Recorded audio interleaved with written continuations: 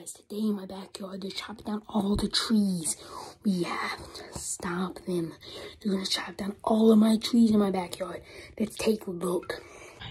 We're looking out back and think about the trucks with all the trees. That's a big tree. Reminds me of something Jason has. Ooh. Then they got the mini excavator. The chickens, they're on lunch break because you know Mexicans gotta eat that food. Um, dog. And go over here, look at that tug. They're gonna take both these trees down.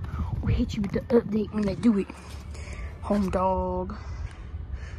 In fact, about trees, they produce oxygen. You need oxygen to live. Today we are looking with a man that knows lots about trees in CVPs.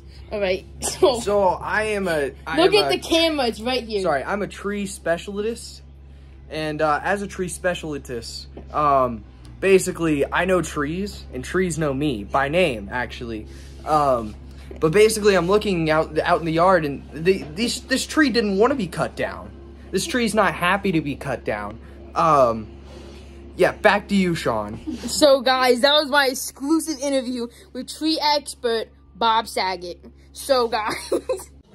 trees are pretty dope. Um, they're tall and they're brown with green leaves.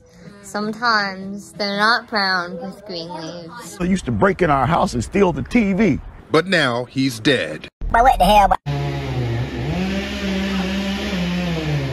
name's Clifford the Big Red Dog, and I like carrying 15 barrels of piss in my bags. But remember one thing trees are bad. We don't need trees. F the trees. That's what I say about grandmas. F the trees. F the trees. F the trees. King Trace!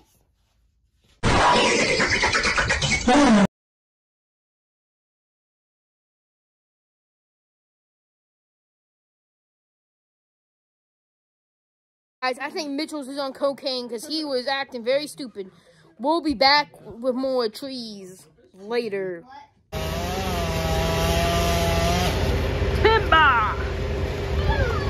Marissa, your fat head's in the way. But what the hell?